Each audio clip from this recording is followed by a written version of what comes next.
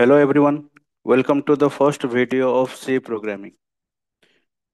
In this video, we'll discuss why C programming is required, what is the need of C programming, how the different concepts are present in C programming.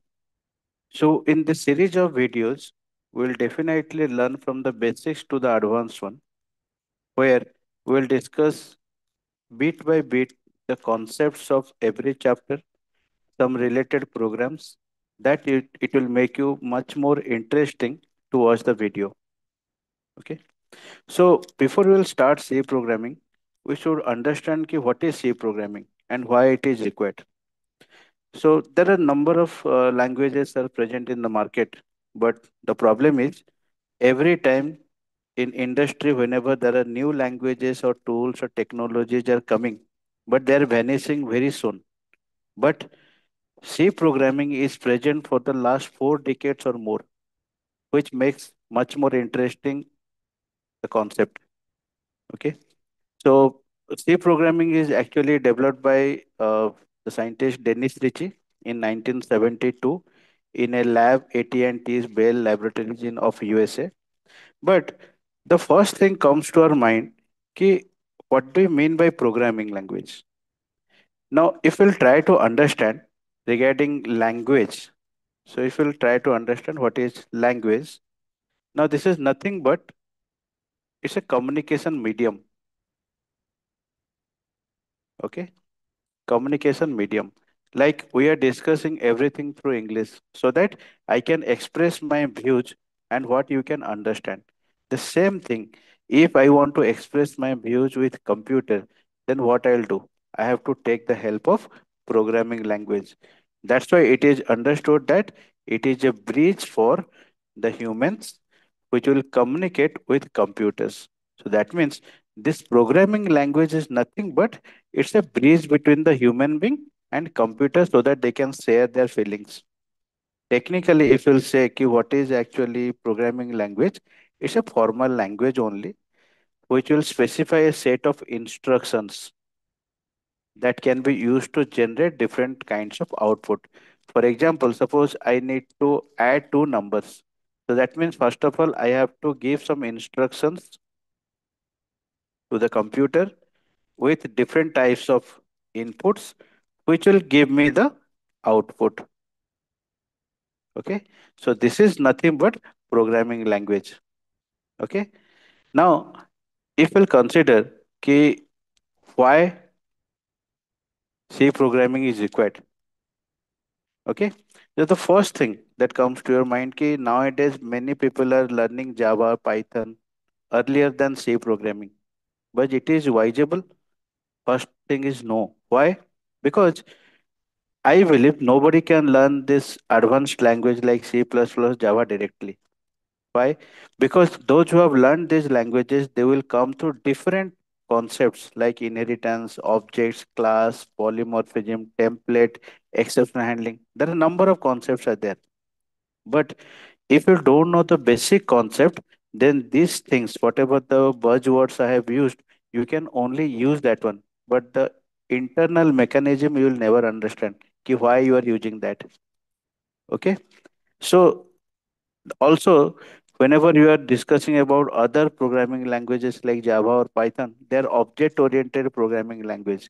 But to understand what is object oriented, you need to understand the basic concepts of C first of all. Okay. So that's the first point comes to our mind. Okay, it makes us comfortable. Okay.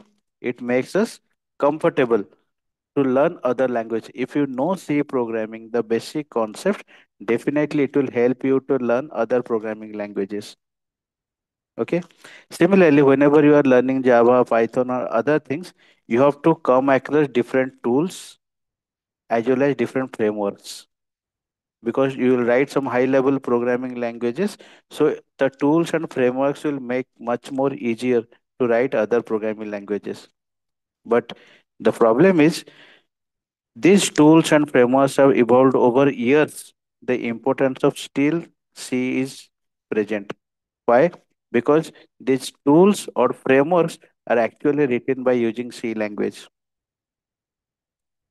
okay so even if you know different frameworks, you, you know how to use different tools but c language is the backbone okay now again coming to the operating system you are using windows operating system. Many are using mac operating system. Many are using linux operating system. So major parts of this popular operating system like windows linux or linux are still written in c. Okay, so that means if you um, want to build your career in developing operating system, you want to build your own operating system, then definitely you have to learn C programming clearly so that you can understand the existing operating system code and then you can modify and you can write on some open source code so that you can build your own operating system. Okay, now the best example, many of you are using mobile devices. Okay? So different cellular phones palm tops everyone is using that. Or the different common consumers they're using devices like what? Microwave ovens washing machine digital camera. So why they're using? To make their life much more smarter. Okay? But this smartness comes from a microprocessor. Okay? All these smart devices they're having a microprocessor. And a operating system and program which is embedded in these devices are actually present. Definitely all these programs are written by using c language. So if you'll see the internal things of any operating system any tools any language those are based on c programming. Okay? Now nowadays generation everybody loves to play games. So there are different 3d computer games are available. Where the user wants to navigate some object. Okay? So all these things no need to say but these games are developed by using c language. Okay? So the gist of telling is that if you love writing programs if you love to use different tools if you love to develop your own operating system if you love to use mobile devices the basics of mobile or if you love to design any computer game definitely you are in right path while studying c programming. Okay? Now coming to the process ki what is c program? Okay? Now just uh, let us understand ki you want to learn english. So to learn english what is the basic steps? The basic step is you have to first learn alphabets. By using alphabets you have to create some words.